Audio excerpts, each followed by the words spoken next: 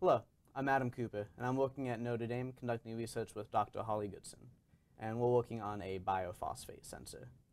So a major problem facing water bodies all across the world today is eutrophication, and this comes from pollution. When nutrients such as phosphate enter waterways through industrial waste, agricultural runoff, and septic tank leakage.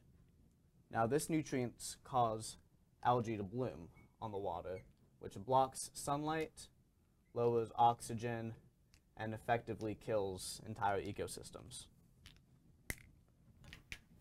Now, methods of currently detecting phosphates are rather lacking.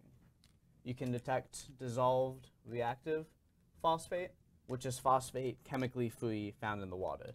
You can also detect total phosphate, TP, which is the total amount of phosphorus in your system, including inside the biomass. You can't currently detect bio, biologically available phosphate, which is what we're working on, which is found right in the middle, and that's the water, that's the uh, phosphate in the water that the bacteria are able to access. These methods also are pretty costly, require long hours in the lab, and use noxious chemicals. So we're working on a better way to detect phosphate using a culture chamber full of yeast with everything they need to reproduce except phosphate.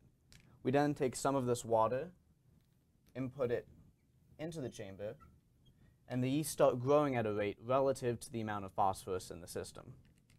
Now we can detect this rate two ways. First, through the production of CO2, and second, by looping it through a spectrophotometer to detect the optical density of the yeast. And from these two readings, we can then trace back the concentration of the phosphorus. Our end goal is a briefcase-sized device, one that's accessible, sustainable, easy to use, and affordable.